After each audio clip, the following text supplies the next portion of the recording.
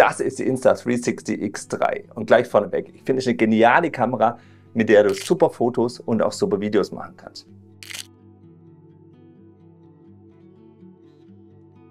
Suchst du eine 360-Grad-Kamera, finde ich, ist die X3 diejenige, die den Spagat zwischen Preis und Leistung am besten hinkriegt. Falls du die X3 nicht kennst, ich habe schon gesagt, 360-Grad-Kamera hat zwei Linsen, hier und hier, beide mit 180 Grad äh, äh, Blickwinkel. Das heißt, du nimmst immer eine komplette Kugel auf, eine komplette 360 Grad Kugel um die Kamera rum. Ich habe schon einige Videos gemacht, auch zu anderen Kameras von Insta360 die äh, verlinkt hier oben, die ganze Playlist, die sind alle verwandt und äh, ich denke, es kommt auch noch einiges auf dem Kanal, deshalb kannst du ruhig abonnieren, denn wie gesagt, ich finde die Kamera eigentlich genial. Aber darum soll es in diesem Video nicht gehen.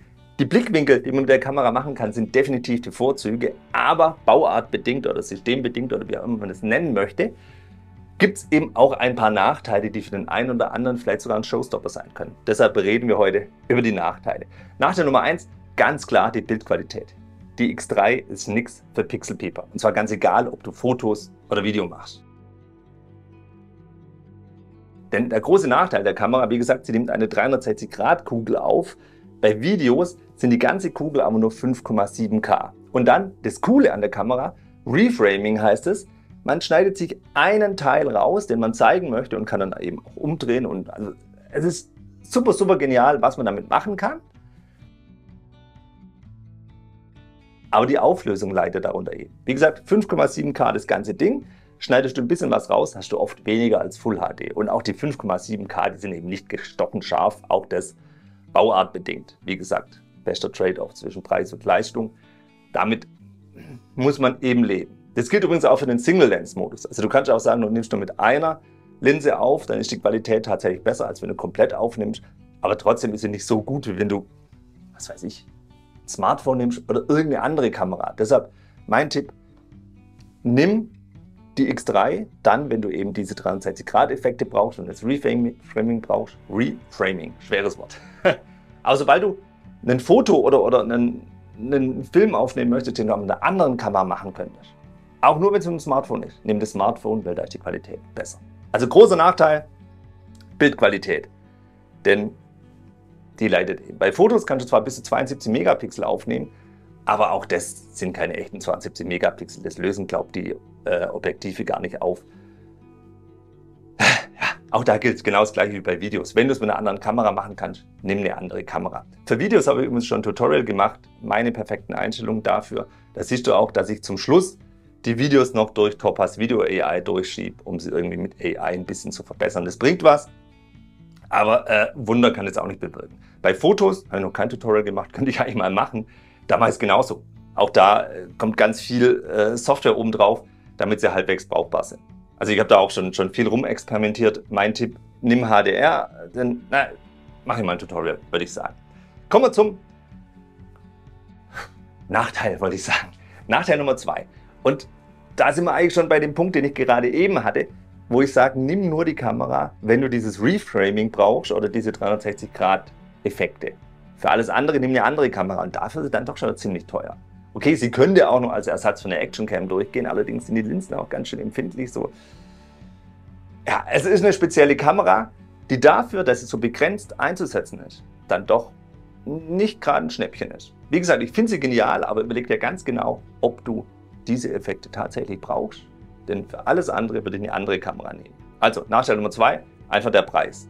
Auch wenn ich sage, sie ist die beste Preis-Leistung. Nein, ist aber egal. Showstopper sind Preis und Qualität für mich auf jeden Fall nicht. Was aber tatsächlich nervt, die Kamera ist so ja relativ klein. Aber die ganzen Bilder und Videos, die du gesehen hast bis jetzt, konnte ich nur machen, weil ich die Kamera an einem 3 Meter langen Selfie-Stick habe. Der ist gerade zusammengeschoben. Das heißt, das Packmaß erhöht sich in der Regel von so auf. Das sieht man gar nicht. So, und das ist echt brutal groß. Es gibt auch kürzere Selfie-Sticks, aber je länger der Selfie-Stick ist, desto coolere Effekte kannst du eben machen. Und ich kann jedem nur diesen 3 Meter Stick empfehlen, wenn man damit einfach super, super, super coole Sachen macht. Aber großer, großer Nachteil, Packmaß. Und man hat das Ding halt, also man schraubt es da oben so drauf. Und man hat es natürlich nicht die ganze Zeit in der Hand, ich zumindest nicht. Sondern ich habe es im Rucksack und dann kommt schon dazu, man muss es halt erst rausgraben aus dem Rucksack. Dann braucht man auch immer, wenn man diese Linsen schützen muss, oben noch so einen Schutz drauf, also Schutz abmachen. Dann muss man die Kamera anmachen. So, das dauert auch immer ein bisschen. Hier drauf bleiben und na, na, na, na, na, na, na. Und, ist jetzt gerade ein Vorführeffekt? Ah ne, die ist schon die ganze, jetzt ist sie an auf jeden Fall. Also, das dauert alles eine ganze Weile. Und dann muss man eben auch noch diesen Stick ausziehen, was ich jetzt gar nicht ganz machen kann, weil der Raum zu klein ist. Und das sind alles Dinge, die sich aufsummieren, dass es recht kompliziert ist, damit Fotos und Videos zu machen. Auch wenn der eigentliche Prozess einfach ist, auch das, was dazugehört, gerade der, der, der Selfie-Stick, das könnte durchaus ein Showstopper sein. Und das ist tatsächlich auch der einzige Grund, warum ich die X3 oft nicht benutze, auch wenn ich sie benutzen könnte. Trotzdem muss ich sagen, die X3 ist so gut, dass ich sie deutlich öfter benutze als die X2, X, X2, die ist noch, die ist noch One X2 sogar. Denn na, einfach das, das Gesamtding ist schon super bei der X3. Aber da gibt es einfach keine Lösung dafür. Da muss man durch und das muss man wissen. Die Kamera ist nicht so groß, sondern so groß. Und dann kommt noch dazu, dass es saublöd aussieht, wenn man mit so einem Stick dasteht. Unterm Strich muss man also sagen, die Insta360 X3 ist an sich eine super Kamera, die sich für sich selber eigentlich auch super bedienen lässt. Durch diese ganze Selfie-Stick-Konstruktion wird es aber doch irgendwie wieder kompliziert und umständlich. Und dafür ist dann halt auch die Qualität nur so lala. Bleiben also nur die außergewöhnlichen Blickwinkel, die man durch die 360-Grad-Geschichte machen kann. Und da musst du dich eben fragen, ist es, ist es dir wert oder nicht? Wenn ich ein Video oder ein Foto fertig habe, das ich mit der X3 gemacht habe, bin ich zwar jedes Mal erstaunt, was für tolle Sachen sich damit machen lassen. Aber um erst mal dahin zu kommen, muss ich mich echt erst zwingen, erstens das Ding aus dem Rucksack zu kramen, zweitens mich hinzustellen und so ein Seppel zu machen mit, mit dem Stick, wobei ich mache das meistens, wo keiner guckt, weil mir echt zu doof ist. Naja, und drittens, ich muss mich dazu zwingen, die Nachbearbeitung zu machen. Gerade bei Videos, wenn man dieses Reframing machen muss, gut, muss man auch bei Fotos machen und dann durch die ganzen KI-Geschichten durchlaufen lassen, damit die Qualität halbwegs stimmt. Das ist schon echt aufwendig. Ich bearbeite meine ganzen anderen Fotos zwar auch, aber hier ist eben noch mal eine ganz, ganz andere Nummer. Also Nachteil Nummer 4, du musst nachbearbeiten und die Nachbearbeitung ist aufwendig. Mehr richtige Nachteile, die ein Showstopper sein können, fallen uns X3 nicht ein. Also wir drehen uns die ganze Zeit im Kreis. Du musst dir überlegen, ob dir der Aufwand und der Preis eben das wert ist für diese Effekte, die du mitmachen kannst. Übrigens, Nachteil Nummer 1, die Bildqualität kannst du mit der, hier haben wir es, der Insta360 One RS und dem 1 Zoll Modul deutlich verbessern, wirklich deutlich verbessern. Vor allem auch bei schlechtem Licht merkt man einen großen Unterschied. Die hat einen größeren Sensor, aber das Ding hat generell viele andere Nachteile. Bedienung, Größe, Gewicht und auch Preis. Ich wollte es nur gesagt haben.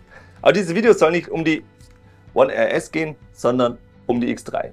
So, jetzt überleg mal, ob die Kamera was für dich ist oder nicht. Ich bin gespannt. Kommentier unten drunter mal, was du über die X3 denkst. Ich bin echt gespannt. Außerdem, wie gesagt, ich finde sie super. Deshalb nicht vergessen, meinen Kanal zu abonnieren. Da kommt bestimmt mal wieder was über diese Kamera. Ah, ich habe ja schon gesagt, ich will ein Tutorial machen, äh, wie ich meine Fotos damit mache. Hier gibt es eine ganze Playlist zur X3. Hier gibt es mein letztes Video und dann sehen wir uns beim nächsten Mal. Bis dann. Ciao.